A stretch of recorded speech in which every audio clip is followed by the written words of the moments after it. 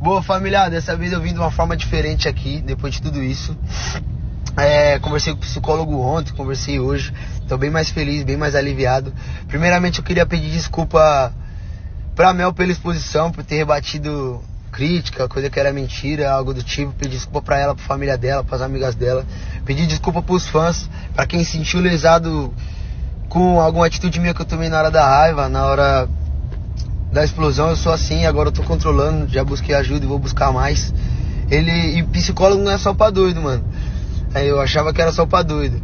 Mas ele vai te dar gatilhos de contornar situações, de controlar suas emoções, suas tristezas, suas raivas, é, lidando melhor com a sua vida e com as pessoas que você ama principalmente. Tá bom? E é isso.